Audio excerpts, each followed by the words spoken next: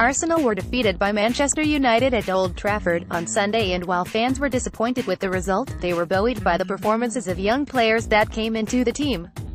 Arsene Wenger made a number of changes to the starting lineup for the 2-1 defeat, giving big opportunities to the likes of Konstantinos Mavropanos, Reiss Nelson and Ainsley Maitland-Niles.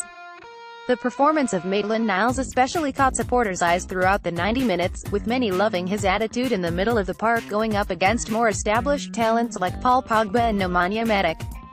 The 20-year-old has progressed well in the Gunners' first team this season, making 19 starts in all competitions, but this match was perhaps his true arrival on the big stage and fans are now even more excited about his future.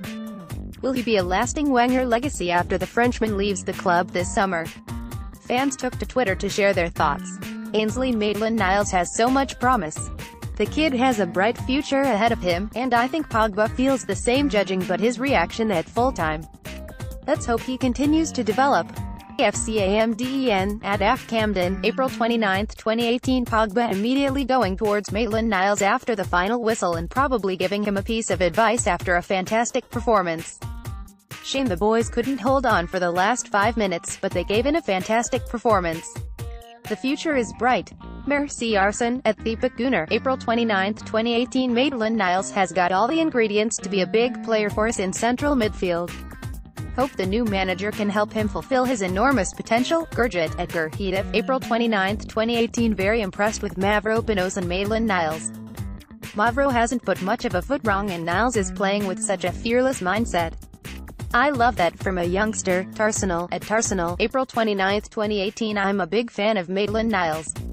Looking forward to seeing him develop as a midfielder. Such a talent, Legrove, at Legrove, April 29, 2018 Ainsley Maitland-Niles, a 20-year-old English midfielder, one man of the match today in a game that featured Aubameyang, Pogba, Lukaku. Zero mention on MOTD.